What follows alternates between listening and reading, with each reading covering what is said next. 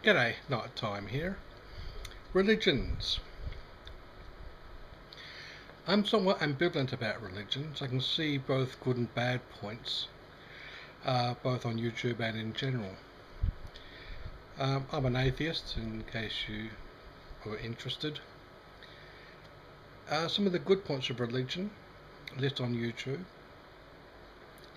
is feeling as if you're part of the group particularly if you particularly if you can't make it to a meeting, be it mass or something like Hillsong, which is a religious musical fest um, event.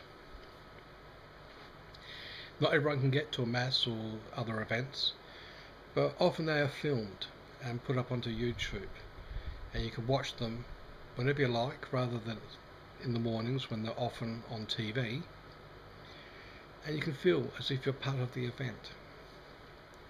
Some of the bad points on religion in general, if not on YouTube, is the push to force people into believing a specific religion over another, or forcing people to abide by someone else, someone's religious beliefs, even if they don't, even if they don't hold the, hold those beliefs themselves.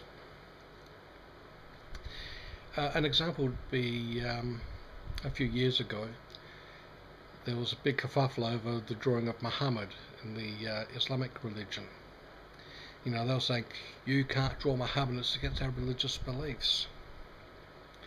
The thing is that not everyone is Muslim. They're not bound by those particular religious beliefs.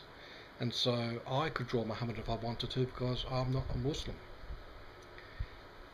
It may offend um, a Muslim, but that, quite frankly, is not my or, or anyone else's problem.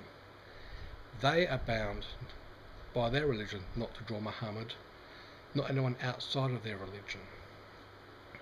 Christians also will try and push their religions via YouTube, often in the way of uh, creation science, which is somewhat of an oxymoron, saying you know how creation can be shown scientifically. Well, it can't. It's impossible. Like religion and science are basically you can't compare the two. They're different things. So yeah, that's my thought on religions for what it's worth. I'll see you later.